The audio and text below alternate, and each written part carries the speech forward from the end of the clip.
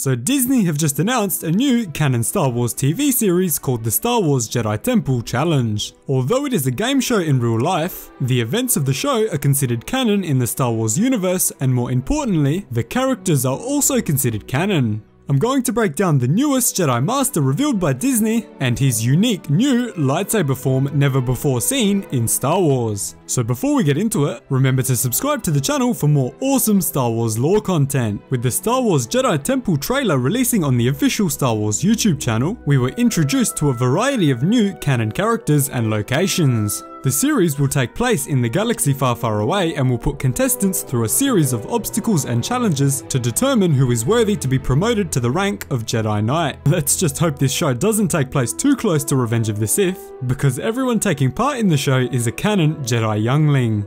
The show in universe will be hosted by Jedi Master Kelleran Beq, who is played by Jar Jar Binks actor Ahmed Best. Funnily enough, he has also played a man sitting inside of the bar in Attack of the Clones when Anakin and Obi-Wan entered, where he had a very similar name to his new Jedi name, which was Achk Med-Beq. No canon source has confirmed this yet, but Ahmed Best has stated that these two characters are actually related. I absolutely love to see Ahmed Best being reintroduced into Star Wars canon as a different character, because he's just such a great guy. Kelleran Beq will be accompanied by his female protocol droid, AD3. AD3 is said to have a great sense of humor with a mix of R2-D2 and C-3PO. While Master Kelleran Beq and his droid were on good terms, AD3 is extremely jealous of his force powers and his rank of Jedi Master. Now here's where things get incredibly interesting. Kelleran Beq may actually be pretty close to a Grey Jedi. We know that he values the balance of the Force more than anything, and that balance is his primary goal as a Jedi Master. He believes that a balance between peace and justice is paramount in the harmony and well-being of the galaxy. Now very excitingly, Master Kelleran Beq has a purple lightsaber similar to that of Mace Windu. This is incredibly exciting as this is now the second ever purple lightsaber in canon. Let me know down in the comments below which lightsaber color you would choose if you were invited onto this game show. Now this makes a lot of sense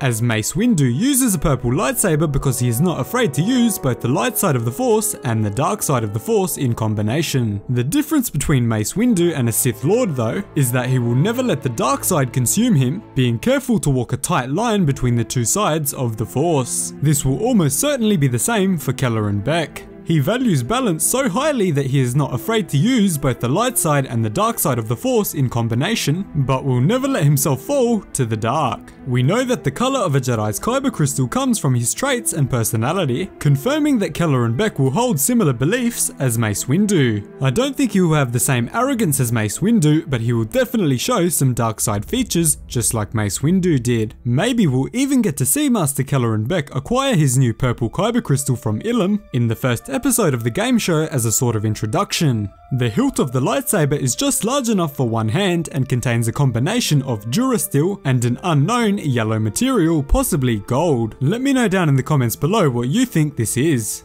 The lightsaber hilt also has a wrap around its bottom similar to the one on Anakin's lightsaber after it was repaired by Rey in The Rise of Skywalker. I don't think this lightsaber was damaged in the same way as Anakin's, but it is certainly possible. Now very interestingly, Kelleran Beq will use a new lightsaber form never before seen in Star Wars canon or legends. This new lightsaber form will take inspiration from a Filipino martial art called Eskrima. It is a one-handed fighting style which focuses on offensive tactics. This form also focuses on one-handed fighting because amazingly it heavily incorporates the empty hand for the use of offensive force powers in combat. This new lightsaber form is incredible, utilizing one hand for the lightsaber and the other to utilize the force against your opponent. I'm so excited to see this. On top of this, Master Beq is known by other Jedi as the Bladed Hand because of his effectiveness with this new one-handed lightsaber form. Although he is being introduced through a canon game show,